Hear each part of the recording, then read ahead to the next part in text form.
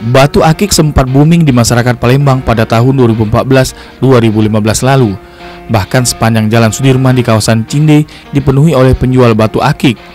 Namun sayangnya demam batu akik tersebut kembali redup di tahun berikutnya dan hanya beberapa penjual batu akik saja yang bertahan di sana.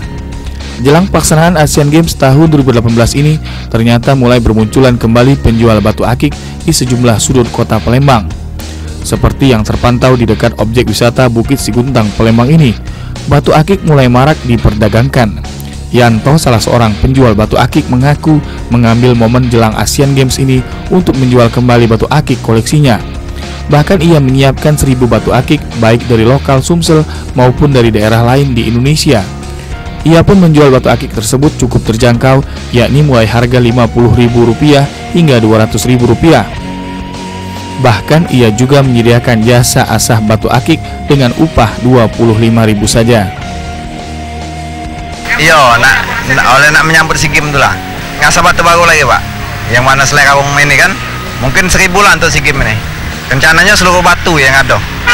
Jenis-jenis batunya macam-macam yang dari Linggau, dari mana Aceh, dari Sulawesi kan.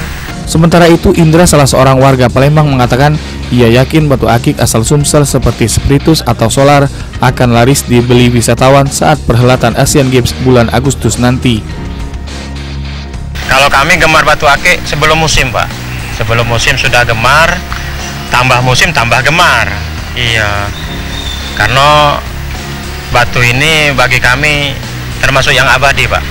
Iya. Kalau bunga bisa layu Kalau batu tidak bisa layu pak Kami pikir peluangnya bagus.